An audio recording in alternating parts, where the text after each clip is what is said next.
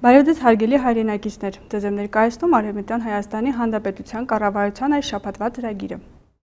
Ցանկանում եմ հիշեցնել, որ սեպտեմբերի 2-ին կայացավ Արևմտյան Հայաստանի Հանրապետության կառավարության խորհրդի 29-րդ նիստը։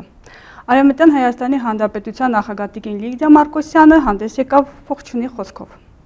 Տիկին նախագահը խոսեց ամառային համալսարանի նշանակության եւ կարեւորության մասին, ինչպես նաեւ սեպտեմբերի 8-ին կայանալիք միջոցառման մասին։ Տիկին նախագահ եւ պարոն նախագահ Արմենակ Ամրահամյանը տեղեկացեցին, որ Արևմտյան Հայաստանի Հանրապետության եւ Ֆրանսիայի Հանրապետության դրոշակները կտեղադրվեն միջոցառման արարողության ժամանակ։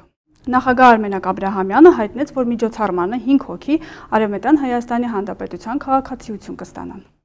Պարոն նախագահը տեղեկացրեց, որ պատրաստել է արվեստի մշակույթի եւ ժառանգության վերաբերյալ խորհուրդ, որը կհաստատվի տիկին նախագահի ստորագրությամբ։ Նա նաև տեղեկացրեց, որ Կոմիտաս վարդապետի անվան շքանշանը պատրաստ է եւ որը կշնորհվի նրանց, ովքեր աչքի են ընկել իրենց գործունեության, որը վերաբերում է Արևմտյան Հայաստանի Հանրապետությանը։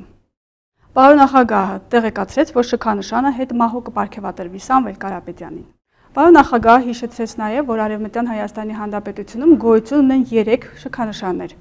զինվորական, Պողոսնուբար եւ Կոմիտաս վարդապետ։ Հարգելի հայրենակիցներ, ցանկանում ենք հիշեցնել, որ Արևմտյան Հայաստանի Հանրապետության կառավարությունը եւ ազգային ժողովը կազմակերպել են Անահիտ Դիցուհուն նվիրված գիտաժողով։ Գիտաժողովը տեղի կունենա սեպտեմբերի 15-ին Երևանում Double Tree հյուրանոցում, Արևմտյան Հայաստանի Հանրապետության կառավարության եւ ազգային ժողովի նախաձեռնությամբ։ Միջոցառման խորագիրն է Անահիտ մայր ամենայն զգաստության, բարերայր ամենայն մարդկանց բնության։ Գիտաժողովի ընթացքում քննարկվելու են Արևմտյան Հայաստանի հետ կապված տարբեր թեմաներ եւ հարցեր, որոնք կարեւոր են հայ ժողովրդի համար։